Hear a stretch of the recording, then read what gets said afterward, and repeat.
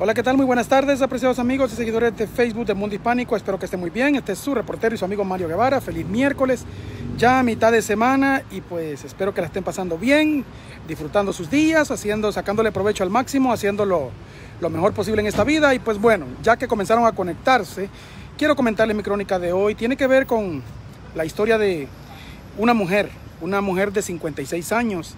Resulta ser que nada más ni nada menos ella se está acusada de la, de la muerte de su madre, su madre una anciana de 86 años. ¿Cómo pasó esto? Bueno, resulta ser que en diciembre de 2018, eh, justamente ya para acercándose a las fechas de fin de año, las oficinas del alguacil del condado de Forza llegó a una casa en esa localidad atendiendo un llamado porque la, resulta ser que Amalia de 56 años le llamó a un primo en otro estado y le dijo que esa, esa misma noche se iba a suicidar, parecería que tenía problemas.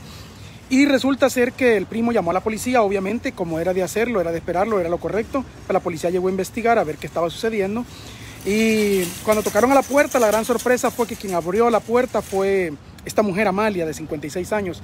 Ella eh, le dijo a la policía de que sí, definitivamente estaba pensando en quitarse la vida debido a problemas personales, pero cuando la policía entró a la casa, sintió un, un fuerte hedor, un olor terrible, insoportable.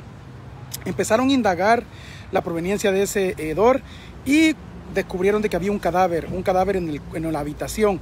Al final se supo que el cadáver pertenecía a una anciana de 83 años, la mamá de Amalia. Esta señora resulta que tenía ciertos problemas de salud y según dicen las autoridades, eh, había permanecido por meses confinada a una cama, al punto de que tenía muchas llagas en su cuerpo. Eh, lo raro es cómo es que se murió esta señora y nadie la reportó. ¿Cómo es que ella falleció y ni siquiera la hija fue capaz de llamar a la ambulancia, al 911? Nada, absolutamente nada. Entonces la policía la arrestó por negligencia en un principio, pero después cuando le realizaron la autopsia se dieron cuenta de que había más y pues parece que habían faltado citas médicas, etcétera. En conclusión la, la, acusaron de asesinato doloso, o sea como que a propósito hizo ese acto de negligencia. Eh, la mujer después de un año, el año pasado tenía la tenía la condena, la, el juicio programado, pero debido a la pandemia se lo pospusieron. Y al final, pues la semana pasada por fin se llevó a cabo el juicio. Ella fue sentada en el banquillo de los acusados y la encontraron culpable. El jurado vio las fotografías, vio las imágenes del, hallazgo y la acusaron de homicidio. Obviamente la, la encontraron culpable.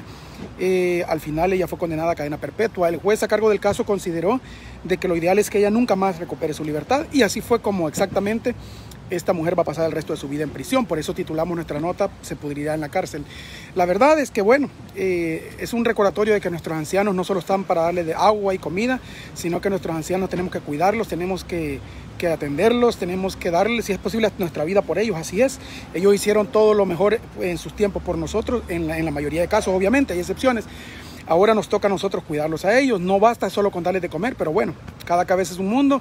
Amalia lo aprendió tarde, ahora tendrá que pasar el resto de sus años en prisión. Cuídense mucho, mi gente, su amigo y su reportero Mario Guevara. Aquí está el enlace de esta historia.